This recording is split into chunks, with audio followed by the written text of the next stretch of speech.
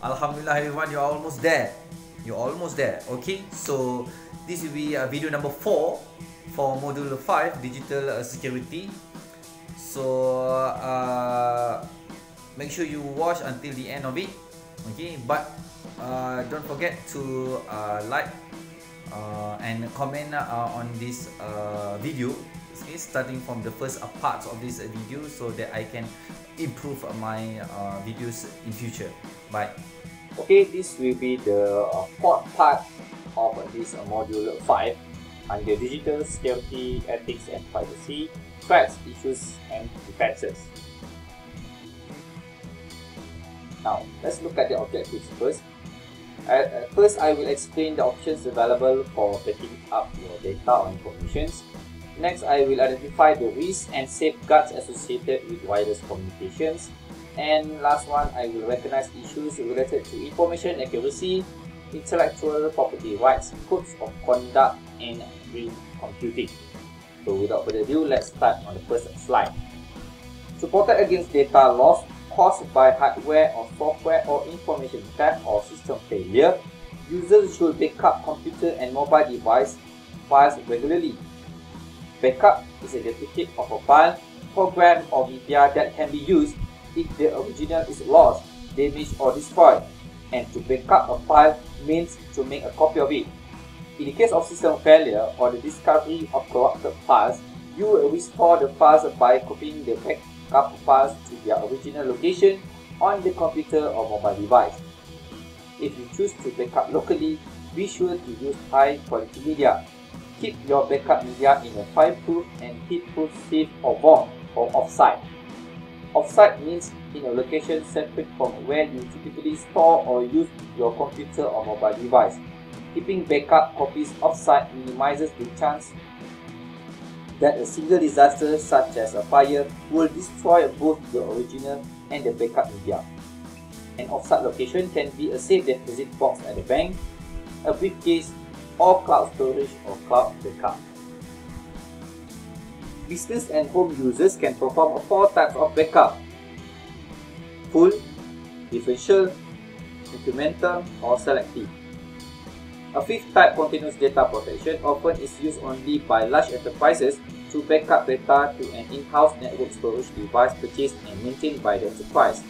Cloud backup services, a sixth option, are providing continuous data protection capabilities at a lower cost. Some users implement a three-generation backup policy to preserve three copies of important files. In a grandparent parent child backup scheme, full backups are made at a regular, daily or weekly intervals on removable media. The oldest safe backup is, called, is called the grandparent. The next oldest is the parent, and the current backup is the child. When a new child backup is made, the previous child backup is retained as the parent backup the parent backup becomes the grandparent backup and the oldest grandparent backup is discarded and its media often is used for a future backup. So this table on 5.2 summarizes the purpose, advantages and disadvantages of each of the of these backup methods, full, differential and incremental. So you can read further of this information in the textbook, page 521. Next is wireless security. Although wireless access provides many convenience to users, it also poses additional security risks. Some perpetrators connect to others' wireless networks to gain free internet access. Others may try to access an organization's confidential data. Some introduce, intercept, and monitor communication as they transmit to the end. Others connect to a network through an unsecured wireless access point or combination router or WAP. Before I discuss on ethics and security, now let's discuss on the mobile security. The goal for mobile device users is to make their data as secure as possible. So what are the steps to be followed to protect sensitive and personal data and to fight mobile cybercrime? We have plenty uh, steps. First of all, the user must be extra cautious locating and downloading any apps in the mobile devices.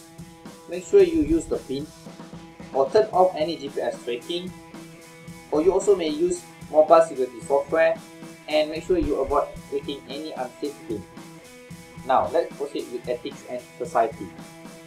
As with any powerful technology, computers and mobile devices can be used for both good and bad intention. The standards that determine whether an action is good or bad are known as ethics. Technology ethics are the moral guidelines that govern the use of computers, mobile devices, information systems, and related technologies. So the following section will discuss the issues related to information accuracy, intellectual property rights, codes of conduct, green computing, and information privacy. First, I will discuss on information accuracy.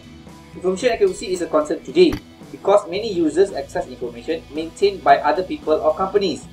Do not assume that because the information is on the web that it is correct. Users should evaluate the value of a web page before relying on its content. In addition to concerns about the accuracy of computer input, some individuals and organizations raise questions about the ethics of using computers to alter output, primarily graphic output, such as retouch photo. As you can see in figure 5.p, this digitally edited photo shows a fruit that looks like an apple on the outside and an orange on the inside. Now I want to focus on intellectual property rights. Intellectual property or IP refers to unique and original works such as ideas, inventions, art, writings, processes, company and product names and logos. Intellectual property rights are the rights to which creators are entitled for their work. Certain issues arise surrounding IP today because many of these works are available digitally and easily can be redistributed or altered without the creator's permission. A copyright gives authors, artists, and other creators of original work exclusive rights to duplicate, publish, and sell their materials. A common infringement of copyright is piracy, where people illegally copy software, movies, and music. This issue with copyright law led to the development of Digital Rights Management (DRM), a strategy designed to prevent illegal distribution of movies, music, and other digital content. Next, we have the Code of Conduct. A Code of Conduct is a written guideline that helps determine whether a specification is ethical or unethical, or allowed or not allowed. An IT Code of Conduct focuses on acceptable use of technology. As you can see in figure 521, these are the sample of IT code of conduct.